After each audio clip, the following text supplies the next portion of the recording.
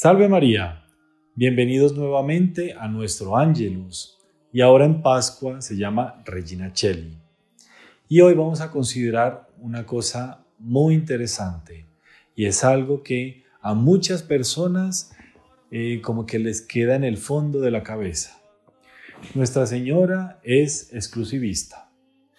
Ella solo socorre a algún tipo de personas y a ciertas personas como muy elegidas o eh, que tienen un don especial. El resto del pueblo, Nuestra Señora no los considera. ¿Será que eso es verdad? Recemos el Regina Cheli y ahí consideramos esta realidad.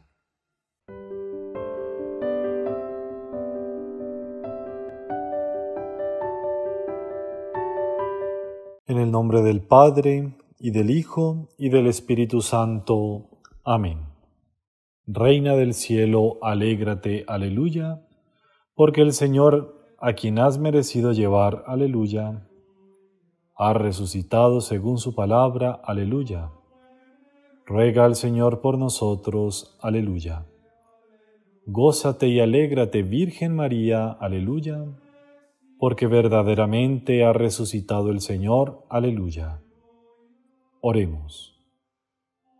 Oh Dios, que por la resurrección de tu Hijo, nuestro Señor Jesucristo, has llenado el mundo de alegría, concédenos por intercesión de su Madre, la Virgen María, llegar a alcanzar los gozos eternos. Por Jesucristo nuestro Señor. Amén. Gloria al Padre, al Hijo y al Espíritu Santo, como era en el principio, ahora y siempre, por los siglos de los siglos. Amén. Gloria al Padre, al Hijo y al Espíritu Santo como era en un principio, ahora y siempre, por los siglos de los siglos. Amén. Gloria al Padre, al Hijo y al Espíritu Santo, como era en un principio, ahora y siempre, por los siglos de los siglos. Amén. Ángel de Dios, ya que el Señor me ha encomendado a ti, ilumíname, custódiame, rígeme y gobiername. Amén. En el nombre del Padre, del Hijo y del Espíritu Santo. Amén.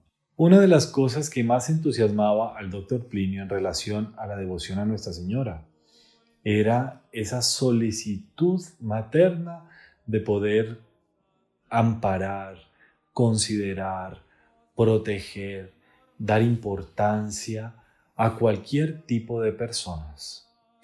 Y él desde pequeño se entusiasmaba considerando cómo Nuestra Señora socorría a todos. Ojo, absolutamente a todos.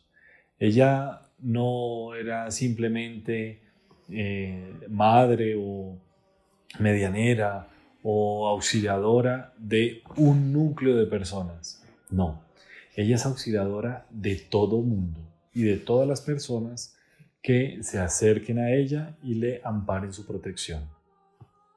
Hay muchos hechos que confirman eso.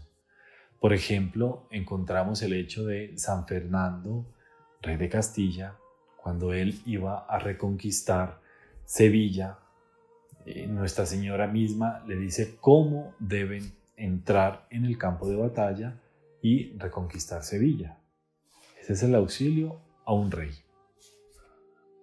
Después podemos considerar a Nuestra Señora, Nuestra Señora de la Estrada, por ejemplo, que le inspira a San Ignacio de Loyola cómo fundar esa nueva orden religiosa, la, orden de los jesuitas, y cómo él debía entrar por las, por las vías de la santidad. Después ella misma le dicta los famosos ejercicios espirituales de San Ignacio. Ahí vemos Nuestra Señora auxiliando a un fundador, auxiliando a un sacerdote en su apostolado. Después, aquí en Colombia, tenemos la gracia de tener muchísimas apariciones de Nuestra Señora. Hablemos, por ejemplo, de Nuestra Señora de las Lajas. Nuestra Señora se le aparece a una indiecita que tiene su hija sordomuda y que después de la primera aparición, esta niña que se llama Rosa empieza a hablar y las primeras palabras son mamá, mamá, la mestiza me llama. Y es, ahí vemos a Nuestra Señora amparando, protegiendo, curando a una indiecita humilde, sin recursos, etc.